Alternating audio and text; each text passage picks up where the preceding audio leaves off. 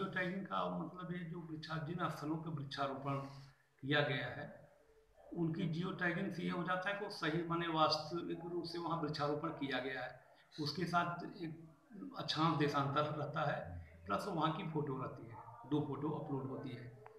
इसमें अन्य विभागों का भी जिलाधिकारी महोदय की अध्यक्षता में बैठक हुई थी। उन्होंने सा माने सात तक टाइम दिया है सात नवंबर तक।